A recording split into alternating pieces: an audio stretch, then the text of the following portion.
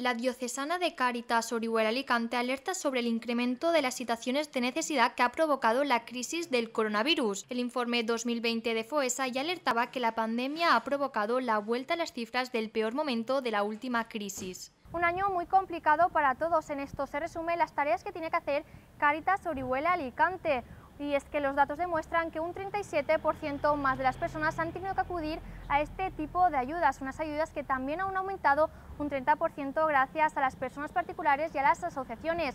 Y este año, para el próximo objetivo que tienen en mente, es ayudar a las personas sin hogar, puesto que en toda España se ha pasado de 30.000 personas sin hogar a 40.000 personas sin hogar. Por eso se va a destinar el 42% de, de su dinero, de su financiación a estas personas sin hogar y este es uno de sus principales objetivos, reforzar esta área para que todos podamos seguir mejorando.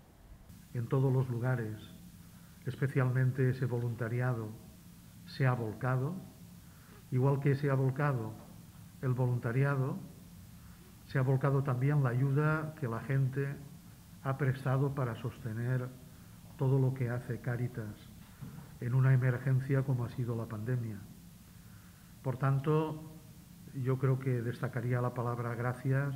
Por tanto, no olvidemos ese drama que tanta gente nuestra está pasando y repito, gracias a Cáritas por esa labor inmensa y sobre todo a todos no bajemos la guardia porque la problemática la tenemos muy grave todavía que nos apoyemos los unos a otros como sociedad es el gran mensaje que han querido destacar. La ayuda tiene un objetivo, que es salir de una situación difícil. No es solo llenar el estómago, por ejemplo.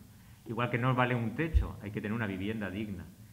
O no vale cualquier trabajo, hay que trabajar un trabajo digno y un trabajo protegido. Ahí queríamos resaltar el, bueno, pues la labor también en el diálogo social de los, de los sindicatos, buscando la protección también de todos estos derechos laborales que nos hemos dado cuenta ahora pues la importancia que tienen. Y dar las gracias sobre todo a aquellas personas que les apoyan, porque gracias a ello las ayudas aumentan y por ende la calidad de muchas familias a poder vivir una vida digna.